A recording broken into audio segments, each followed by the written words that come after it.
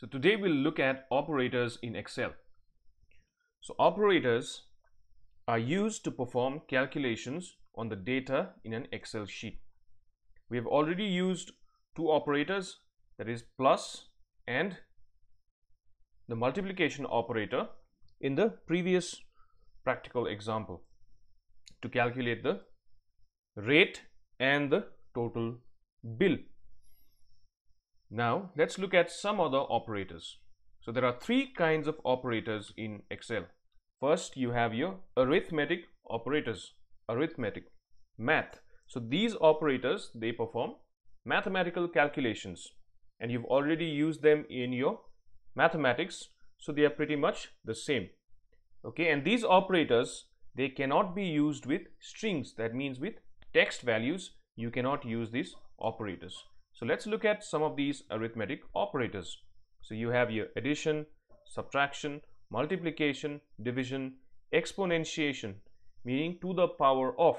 Okay, exponentiation means to the power of. There you have the example 5 exponentiation 2 means 5 raised to the power 2 or 5 square or 5 multiplied by 5. And the last one is percentage which converts the number into a percentage value. So those were your arithmetic operators. Pretty simple, right? Next, you have your relational operators. Now, relational operators, they compare values. They compare two values. They can be used both with numbers and they can also be used with text or characters. Now, the result of this operation is either true or false.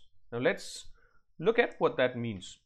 So those are your different relational operators equal to, not equal to, greater than, less than, greater than or equal to and less than or equal to. Okay. So in the usage in the first one it is A1 is equal to B2. So you know that A1 and B2 are both cell addresses and if they have some values inside them if they are equal then you can choose to do something if they are not equal you can choose to do something else in the next example, you have C1 not equal to D1. So if the values in C1 and D1 are not equal to each other, then it will result in true and you can do some task. If the values are equal, then the result will be false and you can choose to do something else. So in the same way, you can use the other relational operators. Now the last type of operators are your logical operators. Now, logical operators are used to join two or more relational expressions and this is done by either using or, and, and not. Okay, so I have just given an example there for your reference. B5 greater than 0 and B5 less than 40. So here we are looking for a value in B5 which should be greater than 0 and it should also be less than 40. So you're checking two conditions. If the value in B5 is 30, then it is greater than 0. So that condition is true. And you're also checking whether it is less than 40. So 30 is less than 40. So again, true. Only if both the conditions are true, then the result will be true. Otherwise, it will be false. Suppose the value was 100 in B5, then the first condition 100 is greater than 0 is true. But the second condition that is 100 is less than 40 is false. So your entire expression becomes false. So those were your three types of operators in Excel. Now let's use some of these arithmetic operators. Now I have created a table in the next worksheet to give you a demo. Okay, so when you have a lot of worksheets in your workbook, it becomes very difficult to find information that you're looking for if the worksheets are named by default like sheet 2 sheet 3 sheet 4 sheet 10 sheet 100 so imagine you have 10 to 15 worksheets and they are all named uh, as sheet 1 sheet 2 and so on. So it becomes very difficult for you to find out exactly what is there under each sheet. So that is why we rename sheets so that it becomes easier for us to locate whatever we are looking for very quickly and easily. So let's go to the sheet it's very easy. Just left click on sheet 2 and there. That's the table I have created. Now let's rename this worksheet so that the next time I want to access this it becomes very easy I know exactly which one it is so let's just give it a name which is related to whatever is happening on this worksheet so let's give the name operators so to rename a worksheet you just have to right click on the worksheet and then left click on rename and then type in the name and that's all. So let's go get back to the operators sheet.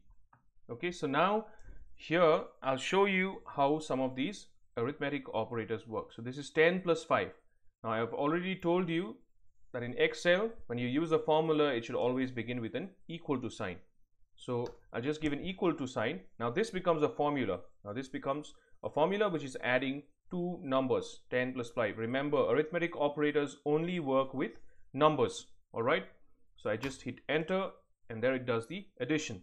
Now this is 43 minus 9. So if I just give an equal to in front, now this becomes a formula and it will give me the difference that is 34.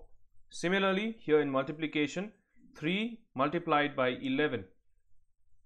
Please be careful. The multiplication symbol is not x but the asterisk symbol that is the star symbol.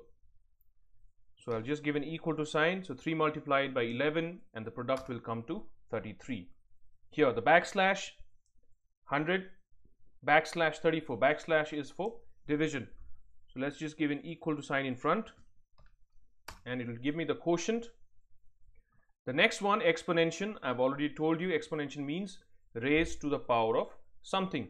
Okay, so this is 5 raised to the power 2. The power comes behind and the number comes in front. So this is 5 square or 5 multiplied by 5. So if I just give an equal to sign here, it gives me the answer or square of that number. And the last one is percentage, which just changes the value to a percentage value.